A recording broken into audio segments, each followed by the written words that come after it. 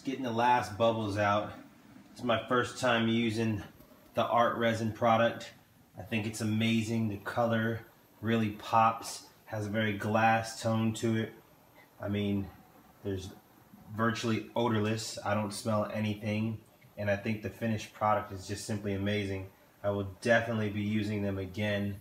And if you haven't heard of them, I think you should check out their website at artresin.com. Great product.